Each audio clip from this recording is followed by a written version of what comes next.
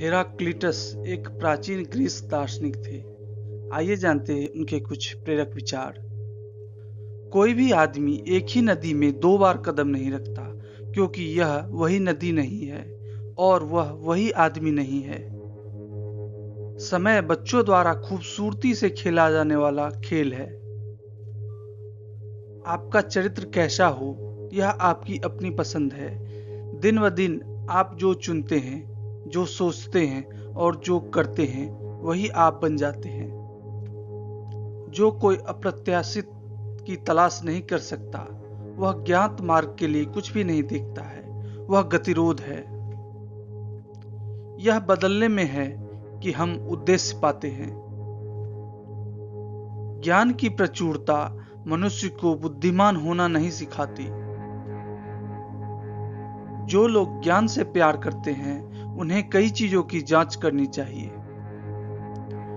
अच्छा चरित्र एक सप्ताह या एक महीने में नहीं बनता है। यह दिन ब दिन थोड़ा थोड़ा करके बनाया जाता है। अच्छे चरित्र के विकास के लिए लंबे और धैर्यवान प्रयास की आवश्यकता है। पुरुष भूल जाते हैं कि रास्ता कहाँ जाता है और जो वे हर दिन मिलते हैं, वह उन्हें अजीब लगता है। हमें सोए हुए पुरुषों की तरह काम नहीं करना चाहिए। और बोलना चाहिए। हालाँकि यह वचन सभी के लिए सामान्य है। बहुत से लोग ऐसे जीते हैं, मानो उन्हें अपनी निजी समझ थी। एक आदमी हज़ार के बराबर है, अगर वह असाधारण है। बुद्धि एक चीज़ है, यह जानना कि कैसे सही निर्णय लिया जाए। यह उस विचार को जानना है, जिसके द्वारा सभी चीज़ें सभी चीज़ों के माध्यम से संचालित होती है। संभाव रखना सबसे बड़ा पुण्य है। सत्य बोलना और उसके स्वभाव के अनुसार कार्य करना ही बुद्धि है। बड़े परिणामों के लिए बड़ी महत्वाकांक्षाओं की आवश्यकता होती है। न्याय झूठ और झूठे गवाहों के गढ़ने वालों से आगे निकल जाएगा। हमारी ईर्ष्या हमेशा उन लोगों की खुशी से अधिक समय तक चलती है जिनसे हम ईर्ष्या करते हैं। श्रेष्ठ लोग एक लक्ष्य के लिए सभी को त्याग देते हैं। नश्वर की स्वास्थ्य प्रसिद्धि, लेकिन ज़्यादातर लोग खुद को मवेशियों की तरह भरते हैं।